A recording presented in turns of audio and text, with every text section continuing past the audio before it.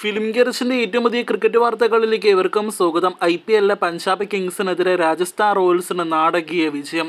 ഇന്നലെ ശരിക്കും യഥാർത്ഥത്തിൽ ഞെട്ടിച്ചൊരു മത്സരം തന്നെയായിരുന്നു എന്ന് എടുത്തു പറയട്ടെ. പഞ്ചാബ് കിങ്സ് ഇലവൻ ജയിക്കുമെന്ന് ഉറപ്പിച്ച തൊണ്ണൂറ്റി ഒൻപത് ശതമാനം ഉറപ്പിച്ച മത്സരമായിരുന്നു അവസാന ഓവറിലെ രാജസ്ഥാൻ റോയൽസിന്റെ മികച്ച ബൗളിംഗ് പ്രകടനത്തിലൂടെ രാജസ്ഥാൻ റോയൽസ് കൈ പിടിയിലൊതുക്കിയത് മത്സരത്തിലെ ആദ്യ ഇന്നിംഗ്സിലെ ബാറ്റിങ്ങിനെത്തിയ രാജസ്ഥാൻ റോയൽസ് പവർ പ്ലേ ഉൾപ്പെടെയുള്ള ഓവറുകളിലെ മികച്ച റൺസോടുകൂടി ഇരുപത് ഓവറിലെ നൂറ്റി എൺപത്തി അഞ്ച് റൺസിന് ഓൾ ഔട്ട് ആകുന്ന കാഴ്ചയാണ് കണ്ടത്. മത്സരത്തിൽ ഒരുപാട് വിക്കറ്റുകൾ രാജസ്ഥാൻ റോയൽസിന്റെ ഭാഗത്ത് നിന്ന് പോയെങ്കിൽ പോലും ജയ്സ്വാളിന്റെ ഉൾപ്പെടെയുള്ള മികച്ചൊരു പ്രകടനം തന്നെയാണ് ബാറ്റിങ്ങിൽ നൂറ്റി എൺപത്തി അഞ്ച് റൺസ് എന്ന നിലയിലേക്ക് എത്തിച്ചേരാൻ കഴിഞ്ഞത്.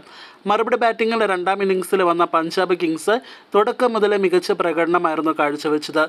ഒരു ഘട്ടത്തിൽ പോലും സമ്മർദ്ദമില്ലാതെ കളിച്ച പഞ്ചാബ് കിങ്സ് അവസാന ഓവറിൽ വിയർക്കുന്ന കാഴ്ചയാണ് കണ്ടത്. നൂറ്റി റൺസ് വേണ്ടി വന്നു രാജസ്ഥാൻ റോയൽസിന് പഞ്ചാബ് കിങ്സിന്റെ ഒരു വിക്കറ്റ് വീഴ്ത്താൻ.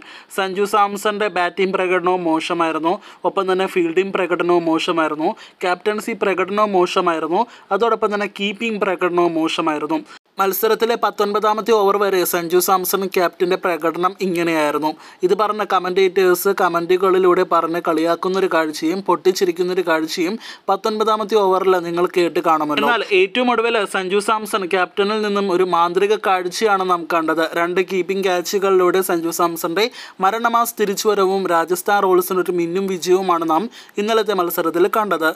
സഞ്ജു സാംസൺ അഞ്ച് പന്തുകൾ നേരിട്ട് നാല് റൺസ് മാത്രമേ ഇന്നലെ സ്കോർ ചെയ്യാനായിട്ട് കഴിഞ്ഞുള്ളൂ.